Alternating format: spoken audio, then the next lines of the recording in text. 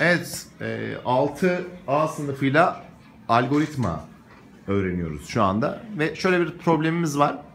Klavyeden girdiğimiz iki sayının küçük olanını büyükten çıkartacağız ve sonucu ekrana yazdıracağız. Bunun algoritmasını Tunahan adlı öğrencimiz şu an tahtaya yazıyor. Evet Tunahan bir merhaba de bakalım önce. Bir el salla buraya. hocam. Evet ne yapıyorsun şu anda? Ee, algoritma giriyorum hocam. Algoritma yazıyorsun. Bu söylediğimiz programın algoritmasını çiziyorsun değil mi? Evet ne yaptın? Başlayla başladın. Sonra Ee, bir sayı gir A sayısı.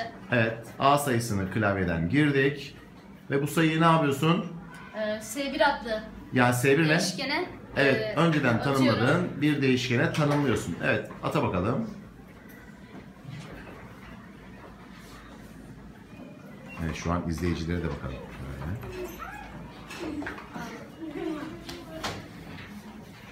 Evet. Çocuklar şöyle el sallayın. Akşam haberlere çıkacaksınız. Evet, devam edelim. Tuna ne yaptın bu arada? Ee, bir sayı gir B sayısını giriyor. Ha evet bir dakika şurada A sayısını S1 değişkenine mi aktardın? Şöyle bir okumuzu Evet. çizsene bizim bir okumuz vardı hani. Nasıl? Yok yok. Heh. A'dan S1'e aktarma oku vardı ya. Ha.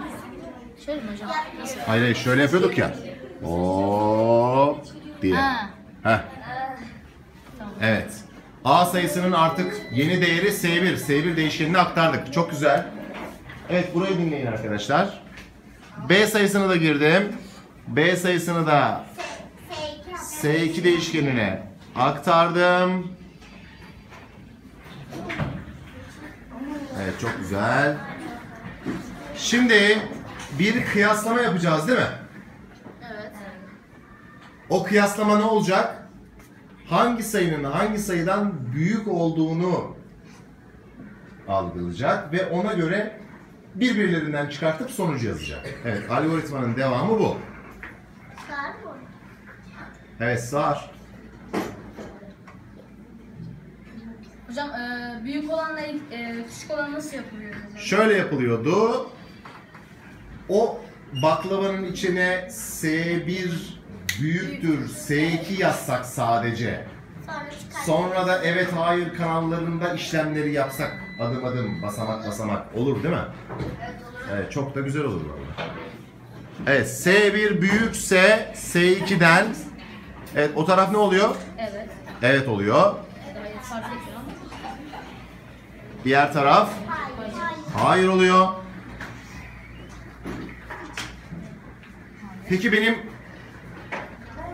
evetten gittiğim zaman arkadaşlar S1'den S2'yi mi çıkartmam gerekiyor değil mi? Çünkü o büyük olmuş oluyor. Çok güzel. Peki o sonucu ben nereye aktaracaktım? Nereye aktaracaktık? Sonuca, sonuç değişik. Evet sonuç değişkenine. Bravo. Çok güzel. Şöyle tahtayı biraz çekelim daha rahat yaz. Gel şöyle.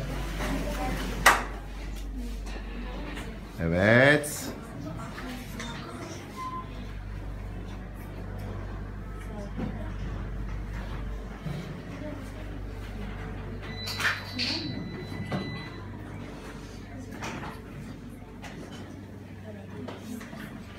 Ama Tunağan orada küçük bir hatamız var. O işlemi eşittir deyip sonuç değişkenine eşitlememiz gerekiyordu değil mi?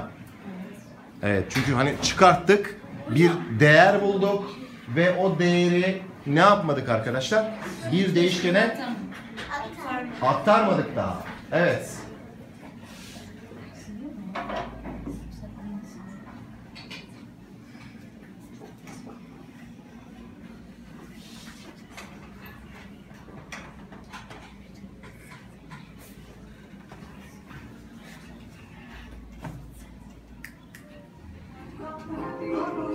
Evet zaman yetmedi.